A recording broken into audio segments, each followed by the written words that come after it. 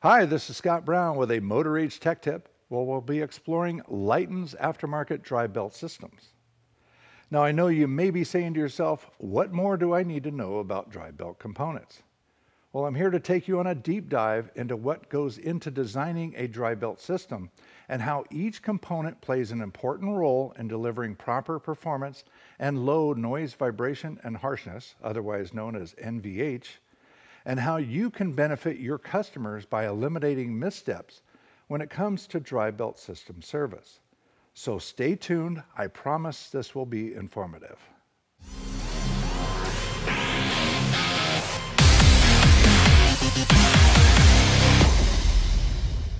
As you may or may not know, Litens is a trusted OEM Tier 1 provider and has been providing drive belt system components to both the OEMs and aftermarket for over 40 years. Since its founding, Litens has been dedicated to innovation, starting with the world's first automatic belt tensioner for the 4.9 liter V8 Ford Mustang and Mercury Capri.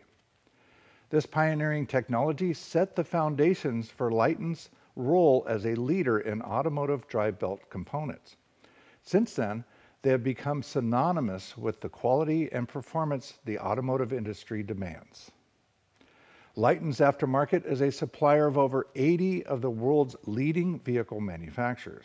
While it may seem simple, the serpentine drive belt system features some very cool engineering needed to balance efficiency, durability, and NVH reduction. From tensioners, idlers, and overrunning alternator pulleys, OAPs, overrunning alternator decouplers, OADs, these all play a critical role in providing long belt life, efficiency, and low NVH.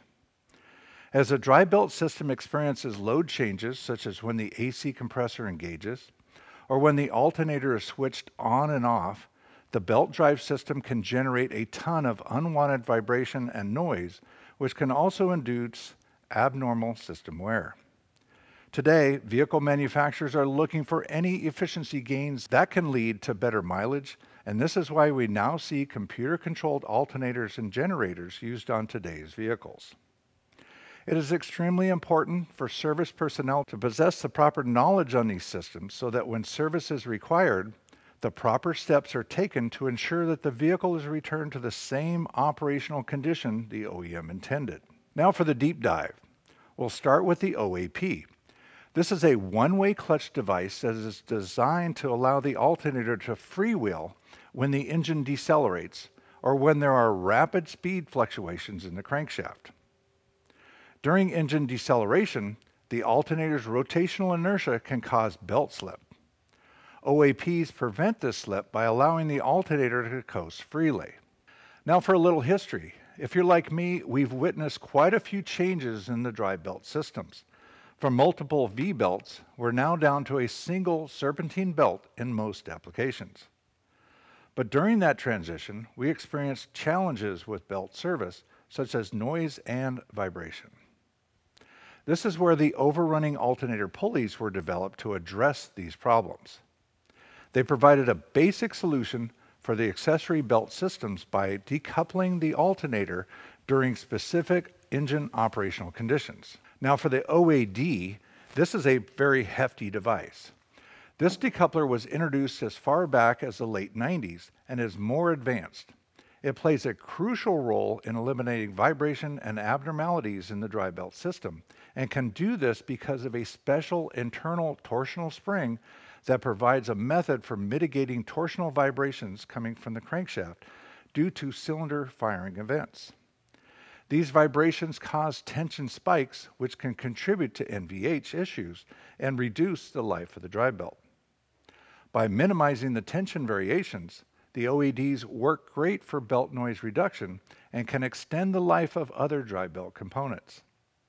When you replace an alternator, don't forget the pulley and always check and replace the pulley using like-for-like components to maintain the vehicle's reliability and performance.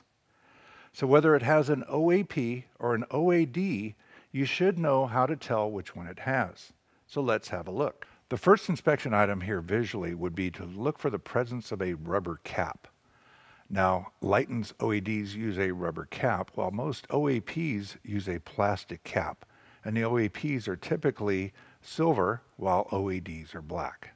Now, if the cap is off the front of this pulley, uh, one area to look is for the uh, light colored bushing here. It might be a white or yellowish looking bushing here, which is a clear indication that this is an OAD. Also, you may have the Litens uh, logo on the front, and the prefix here, uh, the part number is a 92, which would also be indicative of a OAD. Another run you can do on the car is that you see, so let me get this index point up so you can see this kind of index with that on the rotor. So you can see it start to spin there. So now these do require special service tools uh, to take these on and off the vehicle. Uh, and you can take one of the tools here that fits in the end and we can take a ratchet, okay, and we can find the, the one-way clutch, the freewheel part, okay. You can feel that, nice and smooth, all right. Reverse our ratchet, and we come back and it, it locks, okay. But if it's an OAD, it has a spring, right? So we can hold the pulley, you can take the ratchet, and you can slightly move back off of that, that spring. So there's the dampening part of it. Okay. So just a couple more things to be aware of. And then Litens has uh, provided us with this nice visualized uh, cutaway device. So we've got a section cut away. This is an OAD, um, although I mentioned, you know, usually they're black. But this is just for demonstrations. And so we can actually turn this. So there's our free running portion, okay? And then we can turn it back. Now, extremely lightened spring in here so that we can demonstrate how that works. So I'm able to hold the pulley, I can turn up against that spring, and it's super, super light. Uh, again, just for demonstration. Um, the, the unit I showed you earlier, of course, is real, and you have a minimal amount of, of movement in that heavy spring uh, based off of you know the vehicle uh, requirements. Next, we'll talk about the automatic tensioners and idlers, which help to provide proper belt grip under all conditions. Now, I know this is rare, but here in California, we have lots of hybrid vehicles, and there are some mild hybrids that utilize a special drive belt system that not only assists in delivering torque to the engine, but will also be used to generate energy to be placed back into the high voltage battery. As you can imagine, these drive belt systems are quite unique and may require special tools like this one during service. For others, tensioners and idlers utilize robust tension springs and other high quality materials to enhance alignment and longevity. These improvements reduce the need for additional friction reducing components, leading to more efficient and reliable drive belt systems. Now, why service these things as a package? Now, when you think about it, these components all work in concert with each other. And in many cases, the pulleys on these are plastic and can wear along with the belt. Replacing all components during service is a best practice that we follow in my facility. Oftentimes, we see belt replacements at around 80,000 miles, and our goal on any service is to restore the same service life or more for the client. Servicing the entire package provides confidence with our technicians and our clients. So as you can see, there's a lot more than meets the eye in regarding drive belt systems. And as mentioned earlier, Litens Aftermarket is focused on delivering the best quality products to the market so that your clients' vehicles can have the best performance possible after receiving drive belt service. Now, I hope you found this video informative, and if you have any questions or comments, please leave them below, and thanks for watching.